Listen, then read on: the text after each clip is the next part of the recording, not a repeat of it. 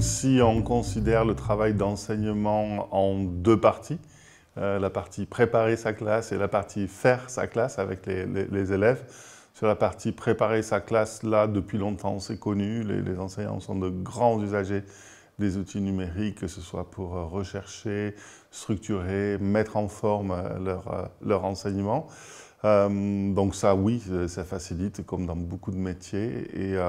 D'ailleurs, dans les enquêtes, la profession d'enseignant a été une des premières à utiliser aussi massivement, euh, mais pour la partie préparation.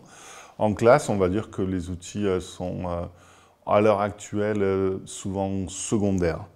ce qui est important, c'est l'enseignement, la pédagogie, la façon dont on construit notre progression, chaque séance avec ses objectifs, ses tâches, etc. Et on va dire que les outils numériques sont juste des supports qui viennent au service de, l'enseignement. Euh, après, en tant que support, et s'ils ont bien leur place de support, alors oui, euh, ils, peuvent apporter quelque chose.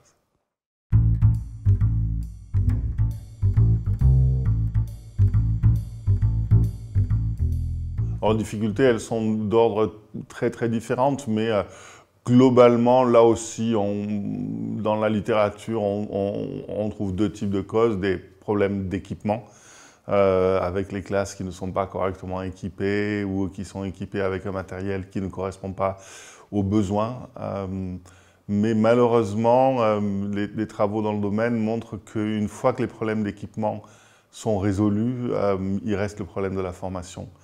et c'est finalement le, plus grand frein aux usages du numérique dans, la classe. Euh, c'est une formation à l'utilisation pédagogique des outils, c'est-à-dire au fait de bien comprendre que ces outils sont au service de notre stratégie euh, d'enseignement et percevoir en quoi, une fois que je sais comment je vais enseigner, tel outil peut apporter quelque chose euh, et quoi, et sous quelles conditions. c'est peut-être ça le, plus grand déficit de formation à l'heure actuelle.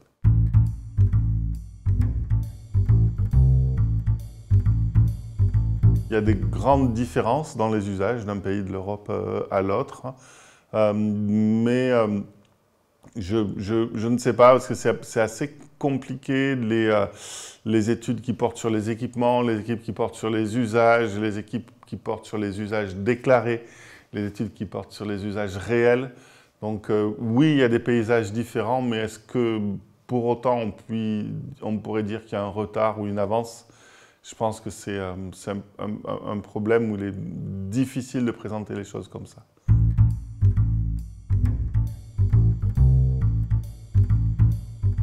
L'enseignement à distance pendant la période de confinement que nous venons de vivre a montré, bien entendu, ce que tout le monde sait, c'est les effets dévastateurs de la fracture sociale et de la fracture numérique sur la possibilité pour des enfants et des adolescents d'apprendre à distance.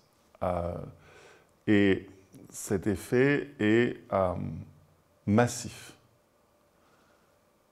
L'enseignement à distance hors de la période de confinement, c'est quelque chose de complètement différent.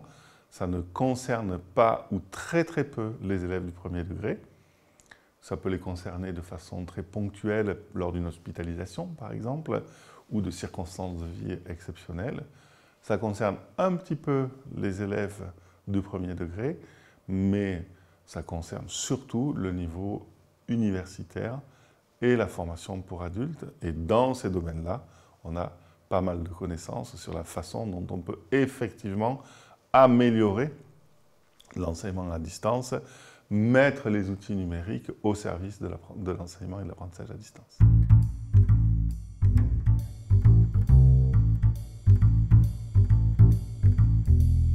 Actuellement, il y a deux, points de vue. Le premier point de vue est, pessimiste et de dire, avant la période de confinement que nous venons de vivre, nous avions énormément de connaissances sur l'enseignement à distance et des centaines de milliers de publications.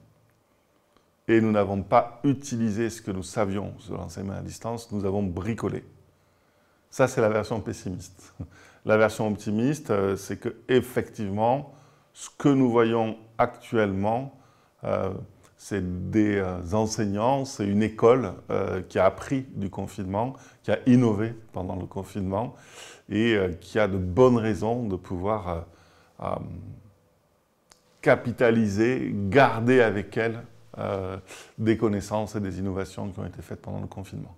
Donc je ne sais pas s'il faut être optimiste ou pessimiste, mais en tout cas, les deux me semblent difficilement contestables.